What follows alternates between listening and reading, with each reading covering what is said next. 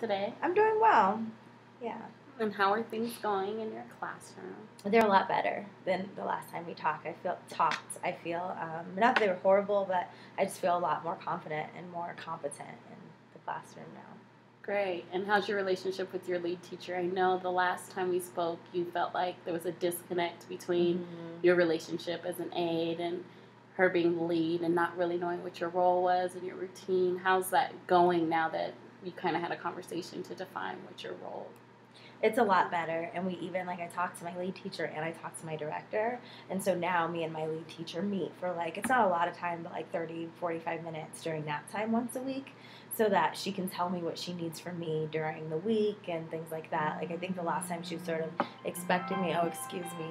Mhm. expecting me to just sort of know what her lesson plan was and to meet the needs of it. But now she tells me what she's doing, why she's doing things, and like what I can help her do to prepare and things like that. So, Great. Which Yeah. probably helps with the challenging behaviors that you're having in the classroom. Yeah, because I was just as surprised as the kids were sometimes that things were switching or that we were doing something different. So now it's a lot, I feel like it's more smooth. You know, mm-hmm. we've talked about maybe preparing certain kids for the next activity that's coming up rather than just telling them it's time to stop, you know, things like that. So that's helped. Right. No time is, or some time is better than no time, right? Mhm. Um, how about the challenging behaviors? Um, I know that you had said patience was a issue for Mhm. you, and that you were working on your patience with dealing with children with temper tantrums. So we Mhm. talked about calming down steps for those children that were throwing temper tantrums.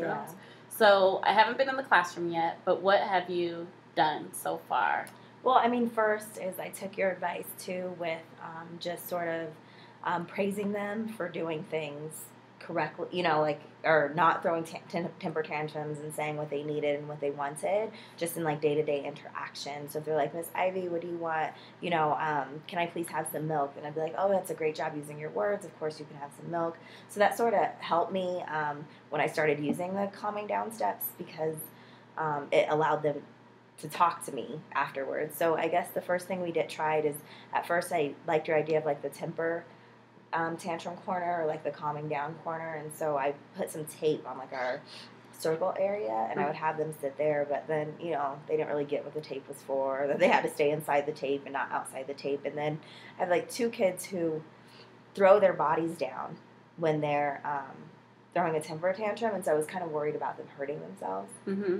if they're in the corner and you know if they're being separated and so i um, ended up getting like just a small ball pit that's padded and i put like soft toys and um, pictures of families like wh- when we had our family unit that's where i hung the pictures so that the kids can see things they recognize so it seems to be going okay yeah It Seems to be going okay. So you hung the pictures up as far as their family goes to, Mhm. as a soothing technique, and you Mhm.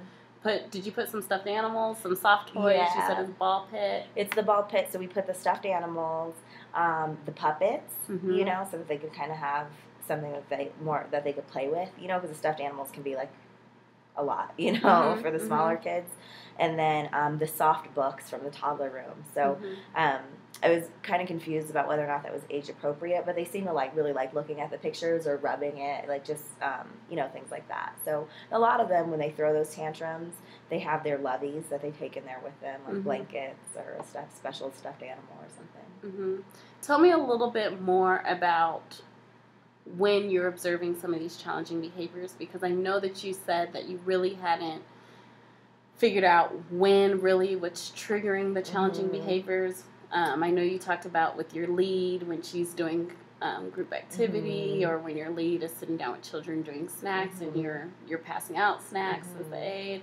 When have you done any um, observation as far as what's triggering some of these challenging behaviors?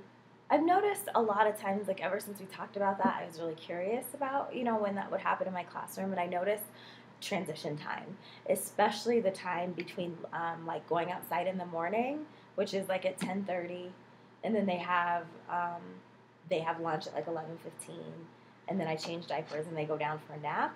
And so that chunk of time is very hectic. A lot there's a lot of transitions, a lot of changes, and I think also too the kids get sleepy. And so that was a huge time for challenging behavior, a huge time for a lot of tantrum throwing and a lot of just inappropriate behavior. Like of one kid who loves to like put his cot over his body Mm. you know, before he goes to sleep, and like just stuff like that, where it's like not necessarily a temper tantrum, but they don't do things. And then I notice when I'm closing, because I don't close all the time, but when I am closing, after about four o'clock, the kids t- tend to get a little riled up. I think they're ready to go home. They're Mhm. tired. They get hungry again, and they don't have another snack. You Mhm. know, um, so that sort of is a big one. And then we used to have a lot of tantrums in between anytime we were moving activities. So like if we were going from circle time to art, you know, or from like art to outside or to the bathroom. Mhm. But now that you, I took your suggestion and we give the kids five minute warnings, that's been a lot more smooth. That's great. Because I think what was happening is that we were just like a kid's playing with a toy nicely and we had to tell him he has to put it down with no warning. I think that would upset some of them. Absolutely, absolutely. And so your patience has kind of eased down. Yeah, and now that I understand what's going on, like before, it's like, no, it's time to go outside, and you love going outside. Why are you screaming at me right Mhm. now? Versus saying, I told you five minutes, and if when we go outside, um, one of the things I found too that some for some kids who have a hard time with transition, because there's two in particular in my classroom who just like don't deal with changing Okay. change well. And so um, I started asking them what they're going to do in the next activity. So then it gets them kind of excited for it, you know? So, like, we're going to go outside. Are you going to go down the slide? Are you going Mhm. to play on the bikes, you know? And then they get more excited about that. So, So I hear you saying a few things that your patience has decreased because of the the the skills that you have implemented in your Yeah. room.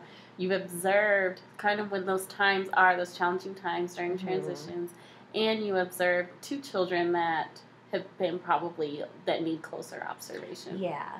And more like activities, you know? Like, Mhm. if there's any downtime, they're the ones who, like, throw toys across the room or wrestle when they shouldn't be wrestling or wear their cots as Superman capes. You know? yeah, that would test my patience too. so we talked about the calming down steps, and the first step being the breathing techniques, Mhm. and we talked about um, implementing some of those activities. Did you think about any activities Yeah. to talk about breathing or introducing that to your It's children? It's been hard. I've been talking to my lead teacher about it, and we did do this one activity with feathers, Mhm. but I'm having a hard time teaching them how to take the in breath, Mhm. you know, to watch their breathing. Like I, I use deep breathing exercises just like in my personal life, but it's kind of hard to transfer that to like a two and a half, three year old level. So um, we've done like blowing bubbles. You know, we've done some activities of like, you know, suck up all the air you can and blow it out as hard as you can and things Mhm. like that. But I don't. I'm having a hard time transferring that into helping them calm down. Okay, so that's a great next step as far as a, a goal in this inside this Okay. goal um, of how to transfer that from you created this space where they can go Mhm. and calm down when they have their temper tantrums. Next is introducing when you get into that corner, you need to take a deep breath. You need to breathe. Um, so that's how that would Okay. transfer into that space that we Mhm. created in that first step Okay. and then we can probably introduce the second step. Um, great. I know there's two other goals that we probably need to discuss, but it seems like this area, as far as your routine with Mhm. your your teacher and getting the kids um, challenging behaviors in order in that Mhm. space and transferring that breathing technique into making it adaptable Yeah. into what is actually going on in Mhm. the classroom. I was thinking about it was just at first me and my um, lead teacher were thinking about putting feathers in the ball pit. That was just I don't know if that you know that be a choking hazard because that's what we used to get them to breathe and like we were t- talking about the wind and so we put feathers in a big bucket and had them Mhm. blow them out. But Mhm. I don't want to clean that up all the time, you know. So I would say sticking with your ball pit and the stuffed animals, and if they're going to get loveys or blankets to Mhm. calm themselves down, and you put the pictures up in that area, I think that's enough. okay, Um, how long are their temper tantrums? Have you observed any of that? You know, I it's hard to say on average, but Mhm. like they're not very long, and they've gotten shorter now that I can.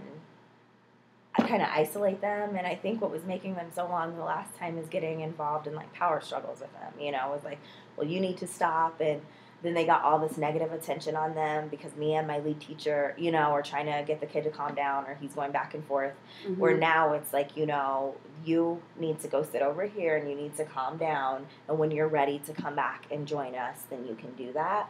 And then we always check in within like two minute intervals with you know like are you all done? And so I would say that I've only had to go back and check in probably like three or four times. That's great. So That's great. yeah, That's great. Well, it seems like it's working for you. yeah, it seems nice. So.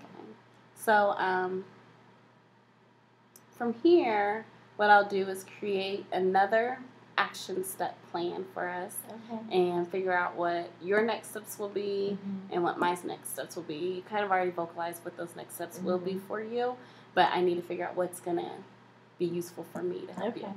Perfect. All right. Well, thank you. Thank you. Nice to see you. Nice to see you too.